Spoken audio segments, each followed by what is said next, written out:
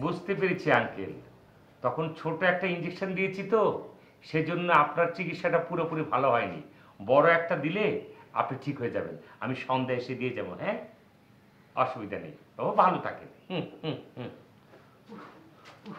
Doctor সাহেব এই লোকটার প্যাডের মধ্যে খালি ব্যথা একটু ভালো করে চিকিৎসাটা করিয়ে দিন। এই বেকু একজন চিকিৎসকের ধর্ম ভালো চিকিৎসা করা তাই না? সেটাকে তোমাকে বলতে হবে? ভাই আপনি বসে বলেন ভাই আপনার কি সমস্যা? ডাক্তার সাহেব তিন দিন ধরে আমার জ্বর মাথা ব্যথা চোখে মুখে কিছু দেখতেছি না ডাক্তার সাহেব। যা করেন একটু তাড়াতাড়ি করেন আমি আর সহ্য করতে পারতেছি না ডাক্তার সাহেব। তাড়াতাড়ি করব মানে? কি বলেন আপনি? আপনি কি নাপিতের দোকানে আসছেন নাকি? যে কিটকিট করে চুল কেটে দেবো গা একদম দশ মিনিটের মধ্যে আপনি চলে যাবেন গা এটা তেমন না। আপনি আসছেন ডাক্তারের কাছে। আপনার বিষয় কুশলাদি সব কিছু আমাকে বলবেন। কখন থেকে আপনার জ্বর হয়েছে কখন থেকে আপনার মাথা ব্যথা হয়েছে কখন থেকে আপনার পেট বিষ হয়েছে সব কিছু ডিটেলস আমাকে বলবেন দেন আমি আস্তে আস্তে প্রত্যেকটা রোগ চিন্তা ভাবনা কইরা দেন আপনাকে আবার আমি একটা প্রেসক্রিপশনের ভিতরে ওষুধ লিখে দেবো সেই ওষুধ খেলে আল্লাহর রহমতে আপনি ভালো হয়ে যাবেন। এখন বলেন কতদিন থেকে আপনার জ্বরটা হচ্ছে? তিন দিন আগে ডাক্তার সাহেব। কীভাবে জ্বরটা উঠছে? বৃষ্টিতে বিচ্ছিলাম। বুঝতে পারছি বর্ষণজনিত জ্বর। তো বৃষ্টিতে আপনি দিনে বিচ্ছেন না রাতে বিচ্ছেন? রাইতের বেলা ডাক্তার সাহেব। ও হো তাহলে তো কালা জ্বর উঠছে। নো প্রবলেম সব ঠিক হয়ে যাবে গা। এখন বলেন আপনাকে ছোটটা দেবো না বড়টা দেবো? কি দিবেন ডাক্তার সাহেব? ইঞ্জেকশন আপনার ঠান্ডা থেকে যে জ্বরটা হয়েছে সেই জ্বরটা মনে করেন যে পেকে পেকে সেটা কালো জ্বরে পরিণত হয়েছে। এখন আপনাকে ইঞ্জেকশন দিতে হবে। নাহলে যে কোনো সময় ফুরুত করে আপনি উপরে চলে যেতে পারেন। এটা আপনি কি বলতেছেন ডাক্তার সাহেব? জ্বর আর ঠান্ডা লাগলে কি ইঞ্জেকশন নিতে হয়? আমি এটা প্রথম শুনলাম। এই আপনি চুপ করেন। ডাক্তার কি আপনি নামে জি আপনি।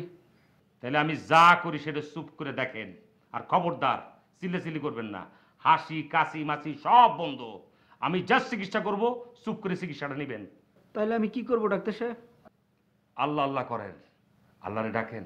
দাদা তুই ওনাকে একটু শক্ত করে ধর হ্যাঁ আমি যেটা করব সেটা হচ্ছে গিয়া ওনাকে সুন্দর করে একটা বড় ইঞ্জেকশন দিবি। ঠিক হয়ে যাবে শক্ত করে ধরিস হ্যাঁ? ডাক্তার সাহেব ডাক্তার সাহেব আমার জ্বর ভালো হয়ে গেছে। আমি এখন যাই ডাক্তার সাহেব। ইঞ্জেকশন আনলে যাবে নাকি? ওকে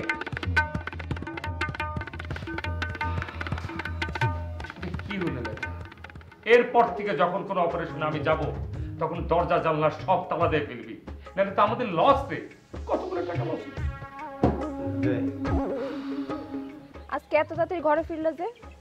আর বলিস নে গোলাপি। দিনে দিনে আমার রোগীর সংখ্যা ক্রমশ আশঙ্কাজনকভাবে কমিয়া যাইতেছে। জানি না ভবিষ্যতে পেট এবং পিঠ কীভাবে বাঁচাইব। কমবই তো। এখন আর কয়টা মানুষ গরু ছাগল ঘরে পালে বলো? এই জন্যই তো তোমারে বলছিলাম যে গরু ছাগলের চিকিৎসা বাদ দিয়ে অন্য কিছু চিকিৎসা শেখা শুরু করো। না রে গোলাপি ইহা সম্ভব নয়। অন্তত এই জীবন থাকিতে তা কোনো মতেই সম্ভব নহে। কেন চাচা? কারণ পশু চিকিৎসা। আমার রক্তের ধমনীর পলে পলে মিশে গেছে রে। আমি চাইলেও তো ওখান থেকে বেরোতে পারব না। ঠিক আছে। না সরাইতে পারলে আর কি করবা? যখন নিজে না খায় দেয় মরবা তখন বুঝবা। আরে পরে কি বুঝিব? আমি তো এখনই পলে পলে বুঝিতে পারিতেছি। মানুষজন আশঙ্কাজনকভাবে গরু ছাগল পোষা ছাড়িয়া দিতেছে। বাংলাদেশ ডিজিটাল হইয়া যাইতেছে। পরে যে আমার কি হবে আমি তাই ভাবিয়া শঙ্কিত হইয়া যাইতেছি। শোনো যার কিচ্ছু হয় না তার একটা বিয়ে করে ফেলা উচিত। তুমি ঘরে একটা চাষি নিয়ে আসো দেখবা সব এমনিতেই আমার মেজাজটা খিটিমেটি হয়ে আছে তারপর দিলি তো উত্তপ্ত করে। তোর সঙ্গে আমার কথা বলাই উচিত না। হত যে তোমাকে বেশেছি ভালো। সে কথা তুমি যদি জানতে এই হৃদয় সিরে যদি দেখানো যেত তবে কি তুমি তা মানতে? তোমার আজ এত খুশি খুশি লাগে কিনলে ওহ, বুঝতে পেরেছি আঙ্কেল তখন ছোট একটা ইঞ্জেকশন দিয়েছি তো সেজন্য আপনার চিকিৎসাটা পুরোপুরি ভালো হয়নি। বড় একটা দিলে আপনি ঠিক হয়ে যাবেন। আমি সন্ধ্যা এসে দিয়ে যাব হ্যাঁ? অসুবিধা নেই। ও ভালো থাকে। হুম হুম হুম। ডাক্তার সাহেব এই লোকটার পেটের মধ্যে খালি ব্যথা একটু ভালো করে চিকিৎসাটা করিয়ে দিন। এই বেকু একজন চিকিৎসকের ধর্ম ভালো চিকিৎসা করা তাই না? সেটাকে তোমাকে বলতে হবে। ভাই আপনি বসে বলেন ভাই আপনার কি সমস্যা? ডাক্তার সাহেব তিন দিন ধরে আমার জ্বর মাথা ব্যথা চোখে মুখে কিছু দেখতেছি না ডাক্তার সাহেব। যা করেন একটু তাড়াতাড়ি করেন আমি আর সহ্য করতে পারতেছি না ডাক্তার সাহেব। তাড়াতাড়ি করব মানে? কি বলেন আপনি? আপনি কি নাপিতের দোকানে আসছেন নাকি? যে কিটকিট করে চুল কেটে দেবো গা একদম দশ মিনিটের মধ্যে আপনি চলে যাবেন গা এটা তেমন না। আপনি আসছেন ডাক্তারের কাছে। আপনার বিষয় কুশলাদি সব কিছু আমাকে বলবেন। কখন থেকে আপনার জ্বর হয়েছে কখন থেকে আপনার মাথা ব্যথা হয়েছে কখন থেকে আপনার পেট বিষ হয়েছে সব কিছু ডিটেলস আমাকে বলবেন দেন আমি আস্তে আস্তে প্রত্যেকটা রোগ চিন্তা ভাবনা কইরা দেন আপনাকে আবার আমি একটা প্রেসক্রিপশনের ভিতরে ওষুধ লিখে দেবো সেই ওষুধ খেলে আল্লাহর রহমতে আপনি ভালো হয়ে যাবেন। এখন বলেন কতদিন থেকে আপনার জ্বরটা হচ্ছে? তিন দিন আগে ডাক্তার সাহেব। কীভাবে জ্বরটা উঠছে? বৃষ্টিতে বিচ্ছিলাম বুঝতে পারছি বর্ষণজনিত জ্বর। তো বৃষ্টিতে আপনি দিনে বিচ্ছেন না রাতে বিচ্ছেন রাইতের বেলা ডাক্তার সাহেব। ও হো তাহলে তো কালা জ্বর উঠছে। নো প্রবলেম সব ঠিক হয়ে যাবে গা। এখন বলেন আপনাকে ছোটটা দেবো না বড়টা দেবো? কি দিবেন ডাক্তার সাহেব? ইঞ্জেকশন আপনার ঠান্ডা থেকে যে জ্বরটা হয়েছে সেই জ্বরটা মনে করেন যে পেকে পেকে সেটা কালো জ্বরে পরিণত হয়েছে। এখন আপনাকে ইঞ্জেকশন দিতে হবে। নাহলে যে কোনো সময় ফুরুত করে আপনি উপরে চলে যেতে পারেন। এটা আপনি কি বলতেছেন ডাক্তার সাহেব? জ্বর আর ঠান্ডা লাগলে কি ইঞ্জেকশন নিতে হয়? আমি এটা প্রথম শুনলাম। এই আপনি চুপ করেন। ডাক্তার কি আপনি নামে জি আপনি। তাহলে আমি যা করি সেটা চুপ করে দেখেন। আর খবরদার চিল্লাচিল্লি করবেন না। হাসি কাশি মাসি সব বন্ধ। আমি যা চিকিৎসা করব চুপ করে চিকিৎসাটা নেবেন। তাহলে আমি কি করব ডাক্তার সাহেব? আল্লাহ আল্লাহ করেন। আল্লাহরে ডাকেন। দাদা তুই ওরা একটু শক্ত করে খাও হ্যাঁ আমি যেটা করব সেটা হচ্ছে গিয়া ওনাকে সুন্দর করে একটা বড় ইঞ্জেকশন দিবি উনি ঠিক হয়ে যাবে। শক্ত করে তুলিস হ্যাঁ? ডাক্তার সাহেব ডাক্তার সাহেব আমার জ্বর ভালো হয়ে গেছে। আমি এখন যাই ডাক্তার সাহেব। বসেন আপনি ইঞ্জেকশন আনলে যাবে নাকি? আই ডাক্তারকে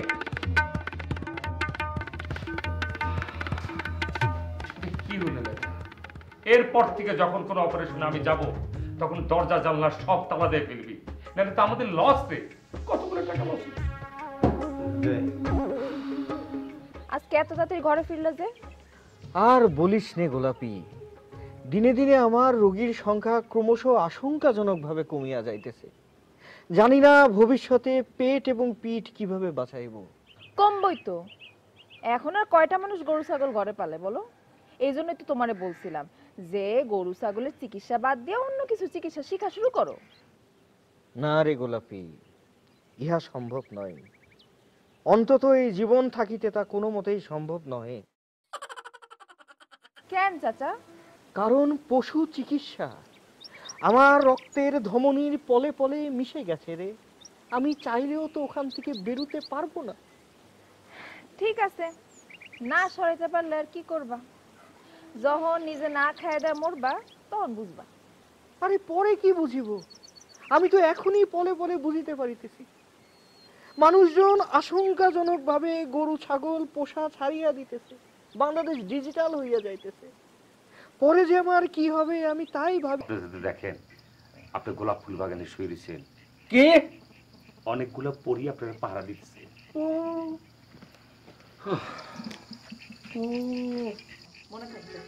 কিরে বলম আজকে তোর ইনকাম রোজগার কেমন হইল? আর বলো না ভাইজান আজকে একটা বড় বিসমিল্লা বলতে পারিনি। হ্যাঁ? কেন? আজকে কি অসুস্থ হলা গরু ছাগল পাস নাই? একটা কিডনি সমস্যাযুক্ত গরু পাইয়াছিলাম কিন্তু আমি যেতে যেতেই উহা সুস্থ হইয়া গেল। কেমনে? তুমি যাইতে যাইতে কেমনে সুস্থ হয়ে গেল? কি করিয়া আবার? ইন দি মিন টাইম গরুর মালিক গরুকে বেশি বেশি পানি খাইয়েছিল তাই গরু সুস্থ হয়ে দাঁড়িয়ে গেল। শোন এইসব কইরা কীভাবে চলবি হ্যাঁ? তোর একটা ভবিষ্যৎ আছে না? তুই এক কাজ কর। কালকে থেকে আমার আস্তানা এসে আমার অ্যাসিস্ট্যান্ট হিসেবে কাজ কর। অসম্ভব। ইহা একেবারেই অসম্ভব। কি বলছে দেখেছিস? তুমি কি করে ভাবিলে যে আমার মতো একজন পশু স্পেশালিস্ট ডাক্তার অন্যের অধীনে কাজ করবে? আরে অন্যের অধীনে কাজ কোথায়? আমার আন্ডারে কাজ করবি? না ভাইজান ইহা সম্ভব নয়। আমাকে মাফ করিয়া দাও ইহা আমার মতে কোনো মতেই সম্ভব নয়। কেন সম্ভব না? আরে আমি কি তোরে আমার সাথে মাংনা কাম করতে বলছি নাকি? আহা আব্বাজান তুমি বুঝো নাই টাকার জন্য না। আসলে চাচাজান হলো প্রেমে পড়ছে গরু ছাগলের প্রেমে। তাকে সাইরা কোথাও যাইতে পারব না। কি? ঠিক না চাচা? হুম বুঝছি। তোর লাইফ শেষ। আব্বাজান চাচাজান একটা বিয়ে করে দাও দেখবা সব কিছু একটা চাঙ্গা হয়ে যাবে। না না না না না ইহা কোনো মতেই সম্ভব নয় ছি ছি কি বলছিস? আমার জীবন যতটুকু অবশিষ্ট আছে বিবাহের পর ততটুকু শেষ করতে চাই না ভাইজান। বিয়া করবি না। আমার সাথে কাম করবি না। করবি নাকি এখন যা করিতেছি তাই করিব। যা। তোর মন যা চায় তুই তাই কর। আমি আর তোরে কিচ্ছু বলব না। ধন্যবাদ ভাইজান। আন্তরিকভাবে আপনাকে ধন্যবাদ জানাচ্ছি। এতদিন পর আপনি আমার একটা মনের কথা বলিয়াছেন। কর!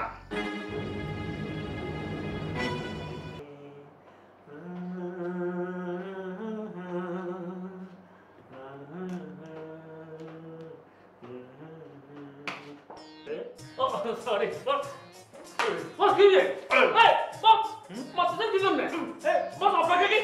এই দিনে ধরেছে নাকি? মানে আমাদের দিনে ধরেছে হ্যাঁ? এই হারাম এই হারাম খোর তুই আমার খেয়ে আমার করে আমার বউর কাছে কি নালিশ করেছিস আমার বিরুদ্ধে? কই বতা আমি তো কিছু বলিনি বতা তুই বলিস নি? না বতা না। এই আমি আমি কোন মেয়ের হাত ধরেছি? আমি আপনার মতো সৎ চরিত্রবান লোক এই ধরনের হাত করতেই পারেন না নাটক করতেছিস তুই আমার হ্যাঁ? সামনে আমরা বলতেছিস চরিত্রবান আর তোর ভাবির কাছে যা তুই আমার উল্টো পাল্টা কথা বলিস তোর আজকে